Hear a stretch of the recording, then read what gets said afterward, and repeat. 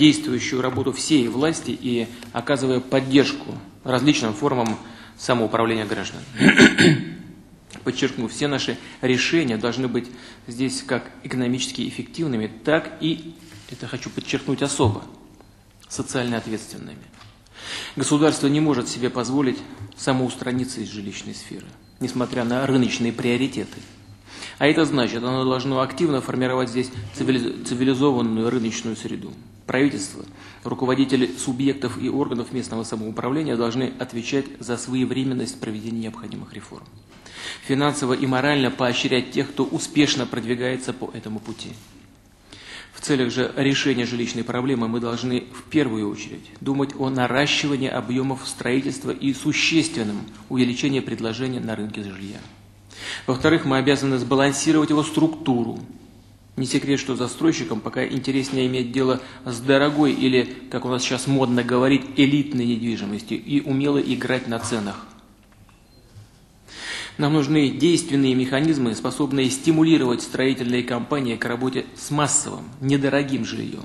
И у рабочей группы Госсовета есть, насколько я знаю, конкретные предложения, включая создание специального финансового института и корректировку федеральной целевой программы жилища. Прошу на этих вопросах сегодня подробнее остановиться. Кроме того, важно продолжить линию на демонополизацию строительных рынков, а также на снятие административных барьеров и издержек, прямо способствующих созданию нездоровой конкурентной среды, а по-другому просто отсутствие всякой среды часто мешает развитию этой сферы. Повторю, надо проанализировать все возможности по снижению себестоимости жилья. Очевидно, что в цене квадратного метра, конечно, сидят серьезные расходы застройщиков на инфраструктуру и согласование по участку и документации. Но если сказать по-честному, здесь также сидят и всякого рода непрозрачные расходы, включая криминальные доплаты и коррупционные поборы. Что же касается инфраструктуры, важнейшего вопроса, мы с каждым из вас или вот в таком составе, либо глазу на глаз и с другими нашими коллегами из регионов часто говорим об этих проблемах. И, и очень часто об одном и том же. Инфраструктура, дорого, нет денег и так далее. Но в некоторых регионах решаются эти вопросы. Вот здесь 16 тысяч было метр квадратный. Позапрошлом году, по-моему. Так и в этом остался 16. За счет чего? Механизмы придумали соответствующие. Далее, к снижению стоимости жилья должно также привести и грамотное субсидирование процентных ставок, и софинансирование инфраструктуры и предоставление гарантий по кредитам для застройщиков.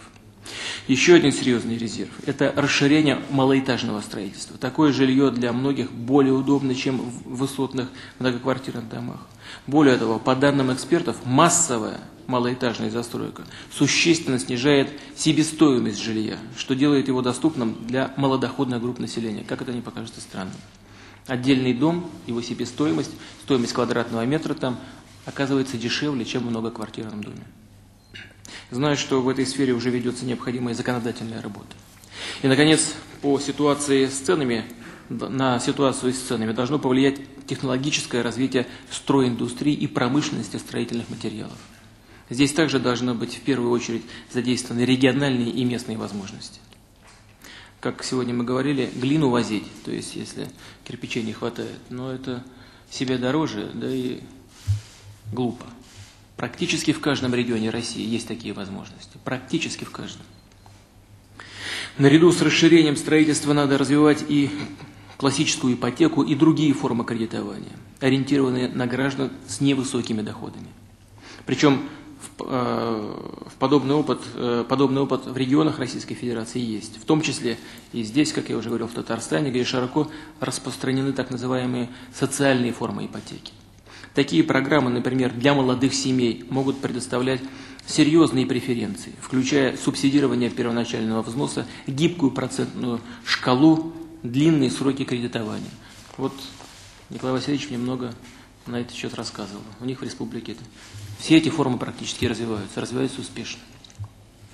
Во многих странах хорошо зарекомендовала себя и накопительная система приобретения жилья через так называемые стройсберкассы. И в некоторых европейских государствах через эти накопительные механизмы покупается до двух третей жилья населения. До двух третей. В отличие от обычных ипотечных банков, а также в таких кассах нет требований по ликвидной залоговой недвижимости. При этом вкладчикам оказывается солидное государственное субсидирование. Конечно, без этого в данном случае не обойтись.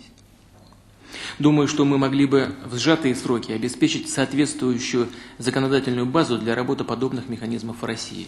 И это будет эффективнее и дешевле, чем просто социальное жилье. И, конечно же, помимо решения всего комплекса отраслевых, организационных и правовых вопросов, крайне важна последовательная государственная линия на общее повышение доходов граждан и снижение уровня бедности в стране. И не скажу ничего нового, борьба с инфляцией, конечно. Потому что иначе доходы будут обесцениваться.